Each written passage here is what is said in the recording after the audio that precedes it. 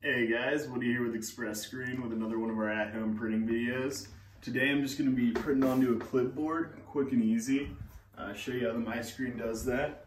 So as always, we come over to this side and go ahead and hit the send image button. That's going to send whatever data I've gotten here in my print driver over to the MiScreen. Then you just hold it down. Should take 30 seconds and your screen is exposed and ready to go. Uh, no water, no chemicals, no emulsion, no darkroom. Cuts out all the hard stuff that people usually don't really enjoy doing. So uh, it's a great process. It's a great system. It's going to make uh, screen printing much faster and easier. Really bring down your labor costs as well. So our screen here is just about to be finished. And now that that's done, we're going to move directly over to our clipboard here.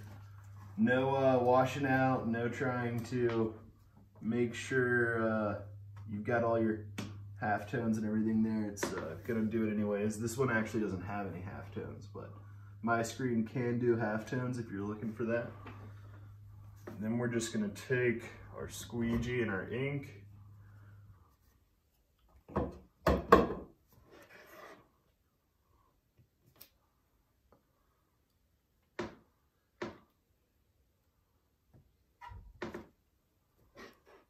And so I'm using Plastisol ink here. You can use water-based if you like. We've got customers that use that as well.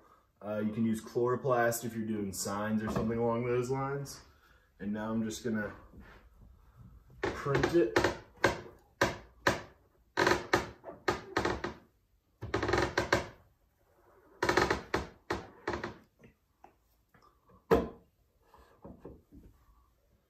Now that's done, just Lift that up, and there you go. Quick and easy print, done with the MiScreen. Looks great, doesn't miss a single dot. We don't have any ink bleed. So definitely check out our other videos on uh, Instagram and YouTube.